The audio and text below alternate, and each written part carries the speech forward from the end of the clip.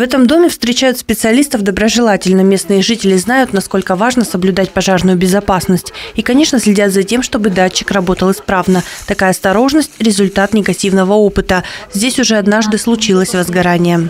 У нас была, этого еще не было, как только построили.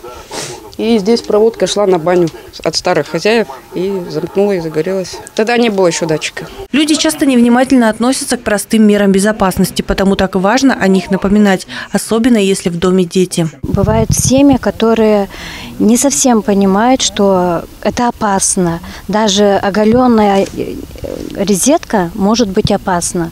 Ну, приходишь, и иногда бывает, что объясняешь, и люди это понимают, воспринимают это всерьез уже. И следят за своим домом, за проводками, за печками. Существует много разных нюансов, которым человек часто просто не придает значения, однако они могут стать причиной пожара. Притопочный лист может быть небольшого размера.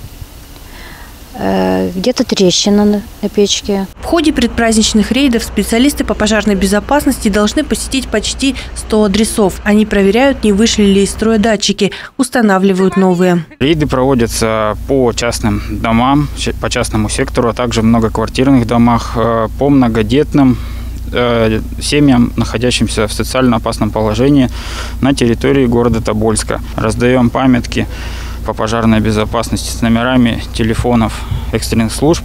Э, и наша задача – это установить, передать датчик пожарный извещатель. Многодетным семьям пожарный извещатель предоставляется бесплатно. Для того, чтобы в случае задымления, допустим, в ночное время, когда вы спите, датчик у нас отсигнализировал, сработал и показал свою работоспособность, тем самым спас вам жизнь. Важно, чтобы родители не только обеспечивали пожарную безопасность в доме, но и беседовали об этом со своими детьми. Также гирлянды, вот эти вот зарядники, чтобы они это зарядили, выключили ну, чтобы ничего не было в питании. В преддверии Нового года эти простые правила особенно актуальны. Пусть праздник остается праздником, и его не омрачат неприятные случайности. Анастасия Плюснина, Михаил Куричка, Тобольское время.